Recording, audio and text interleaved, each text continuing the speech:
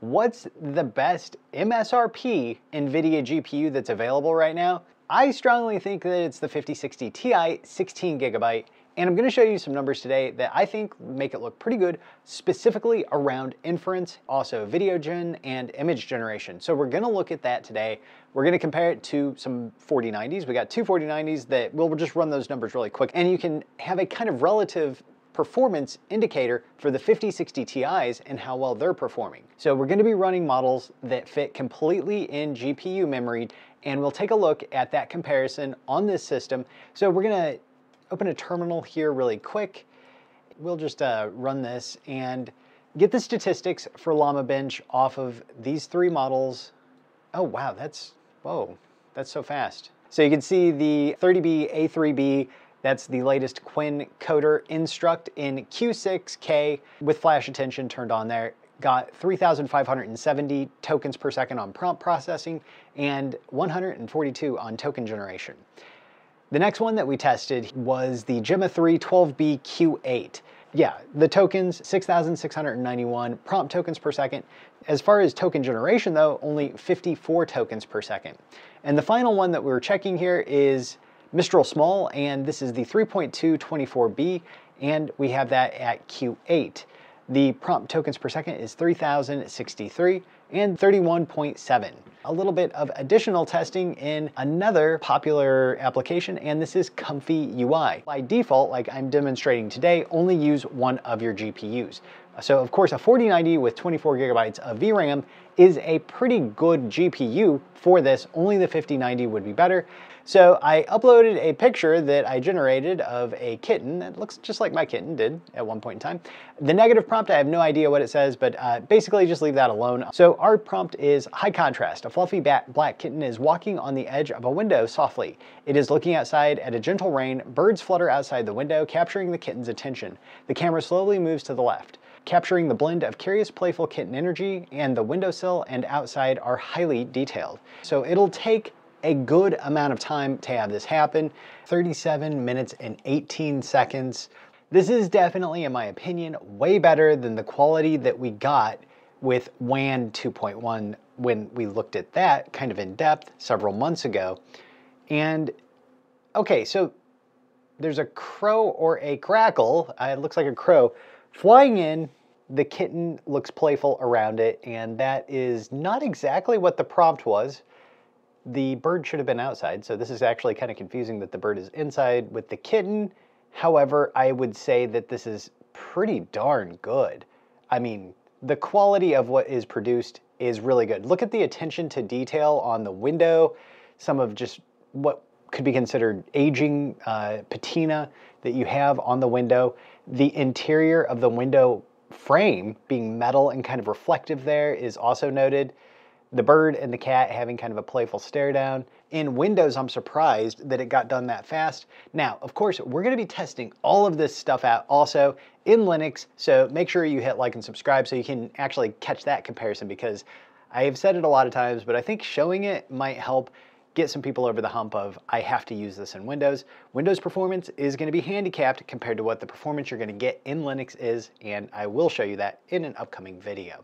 So let's go ahead and move on and check out some additional things with image generation now, a couple of more data points here. To load in, it took 21.6 seconds for our Cowboy Lizard, and the second run of that took 13.23. And if we just make a uh,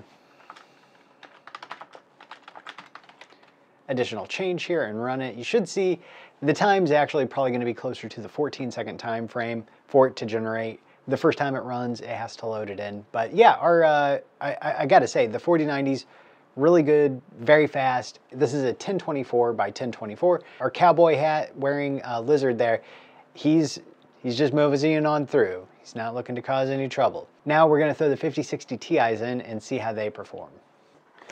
All right, let's get out our 5060 Ti's.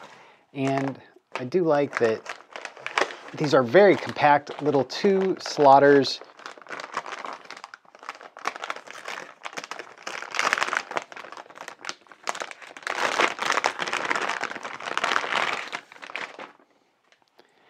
And this is basically a very small board. So this and the cooler here, not a really hot uh, GPU. So it's, it's actually hopefully gonna be very, very quiet. I have my expectations set for around you might think this is me shooting a little optimistic, 50% of the performance that we saw on the 4090s out of these two.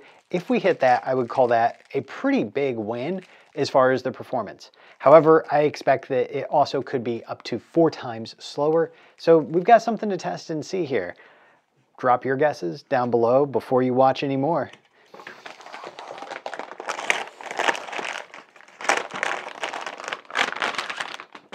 So one of the things I really like about these is the use of 8 pin. I've never really felt that great with the 16 pin, so 8 pin is great. It's a true two slotter, doesn't stick over anywhere, has some bevel on the sides for drawing air in and drafting it a little bit it looks like. Probably not gonna be that hot. One HDMI, three display ports, of course 5060 Ti and PCIe Gen 5. So this uh, motherboard that I've got over here has, of course, with the Threadripper 7995WX on the Asus WRX 90 Sage. It is a great motherboard. But yeah, the uh, PNY GeForce RTX 5060 Ti, we're gonna test this out, we're gonna test these out, and we're gonna see what kind of performance we can get on those same exact tests. Comically large compared to the 5060 Ti. Comically large.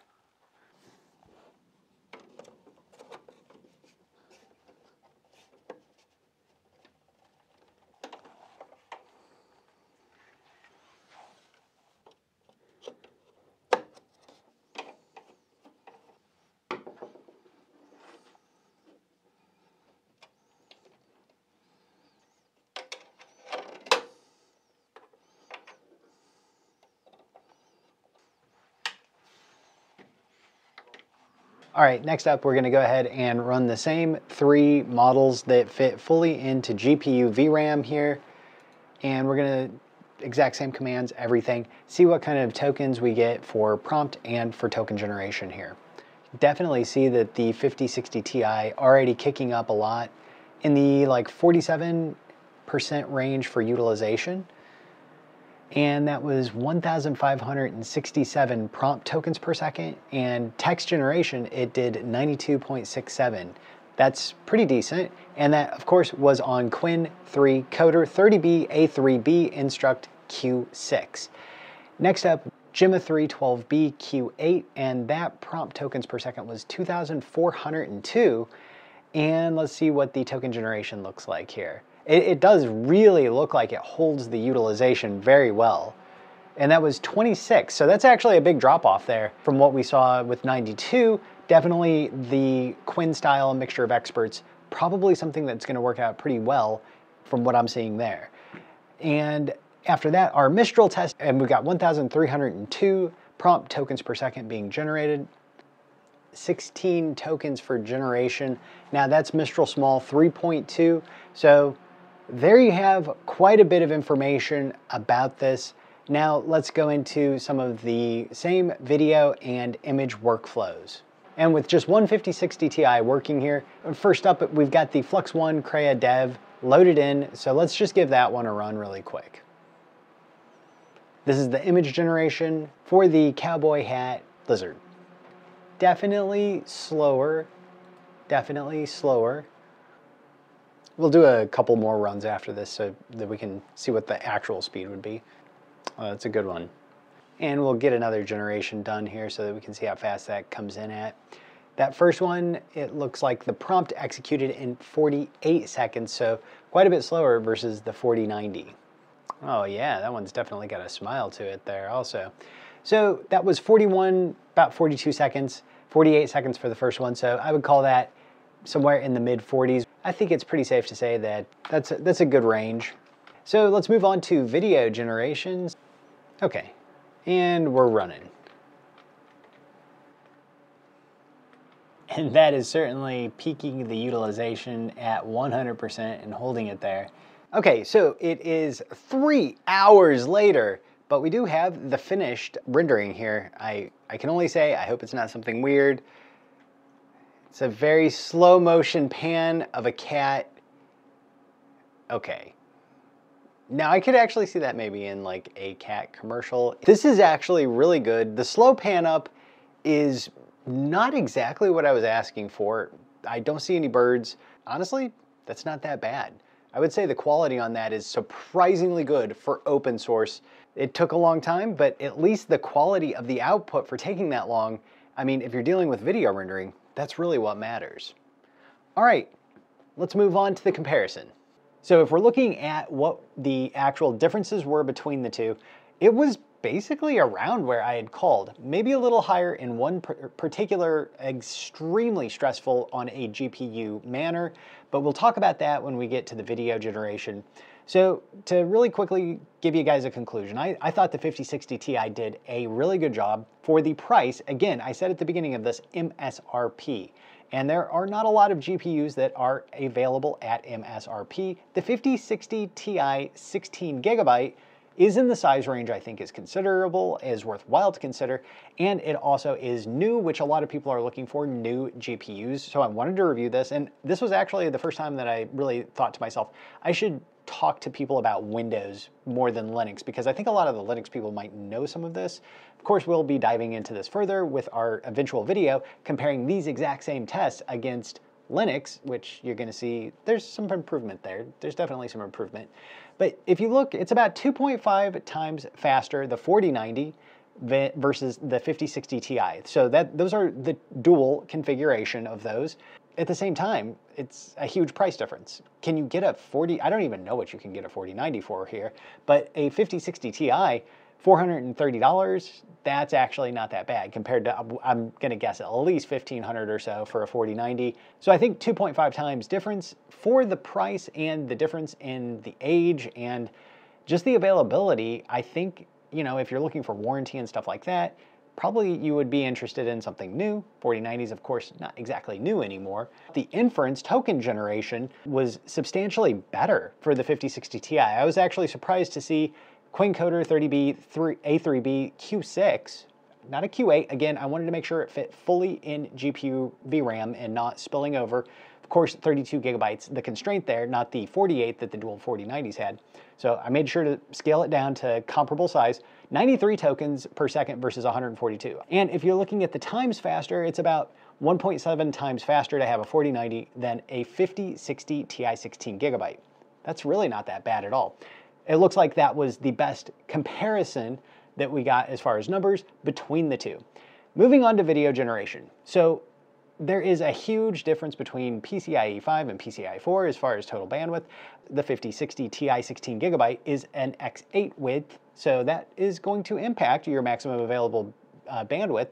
However, it's only got 128-bit bus, so it's actually kind of slow already. So when you're thinking about those two factors, that's why you're seeing such a huge difference in the video generation capabilities. So if you had a 5090, it would beat out the 4090 here also, and we saw 2,220 seconds per video. That was almost five times faster than a 5060 Ti 16 gigabyte. So if your primary use case or very high level use case is video generation with things like WAN 2.2, the 14B, not the lower quality 5B, I really just don't think that that's a model that anybody's gonna use for anything other than novelty. But the 14B, yeah, I definitely can see people using that for a lot of things five times faster, you would definitely want to factor that into your consideration.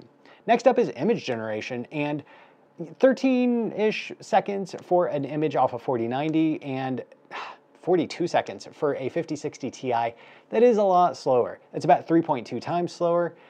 Again, you're only using one GPU for video generation and image generation, when you're running this on Windows through Comfy UI by default, there may be ways around that to use additional GPUs at the same time. For video generation, it's like Ulysses and Linux is how I know how you can go about doing that. And There may be ways in Windows, but you're probably gonna have to jump through quite a few hoops. So I really think overall, the 5060 Ti, a great GPU for the price, do like the fact that it only requires an 8-pin connector on this one. I don't know on all of them, but definitely this one, 8-pin, I think that's great. So I look forward to reading what you have to say and definitely drop a comment down below. Big shout out to our channel members, you guys buying me coffees, really buying me a GPU is more like it. Thanks, big hats off to you guys.